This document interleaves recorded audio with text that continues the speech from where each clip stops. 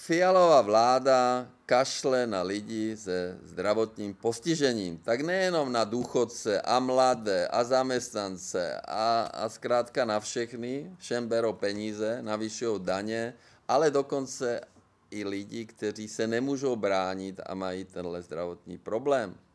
Příspěvek na péči se od roku 2018, to bylo za naší vlády, kdy jsme ho navyšovali, nezměnil.